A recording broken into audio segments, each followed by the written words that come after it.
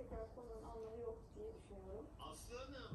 Bu arada efendim de ses ben de sürprizimi söylesem mi?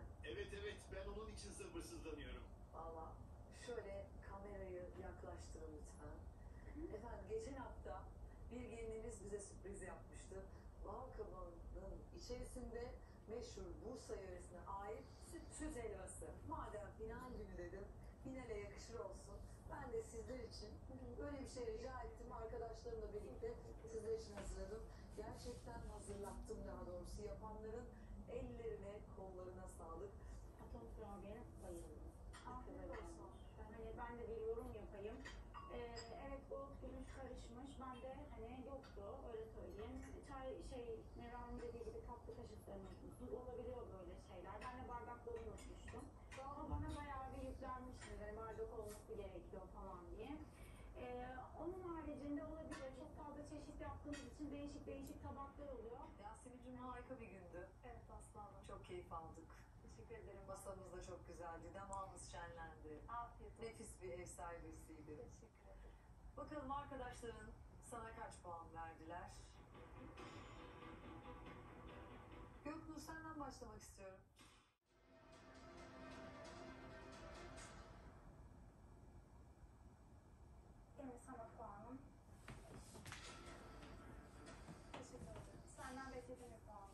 Şekilde düşünüyorum. Hani lütfen senin Özge'nin evini benim evimden daha çok mu beğendin?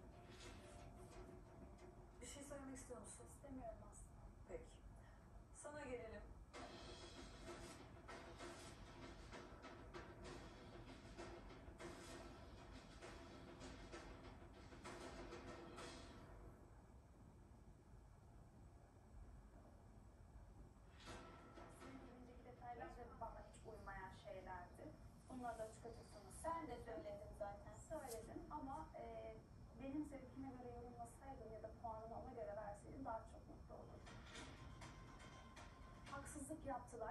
Gece yastığa kafalarını koyduklarında rahat rahat uyuyan ben olacağım. Onlar değil. Gelelim benim puanlarıma. Acaba ben size kaç puan verdim bu hafta boyunca?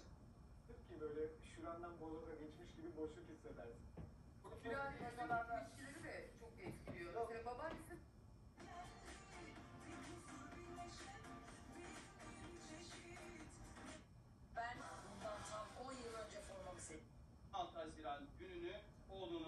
mezarında geçirdi.